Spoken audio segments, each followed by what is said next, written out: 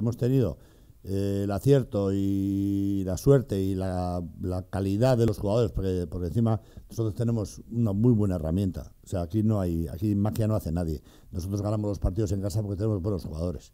y no hay más secreto. A nivel de ganar una liga, pues eh, se prima la regularidad. Y a nivel de regularidad, nosotros llevamos 26 partidos y somos el equipo que más puntos ha sacado. Entonces, eh, yo creo que somos regulares.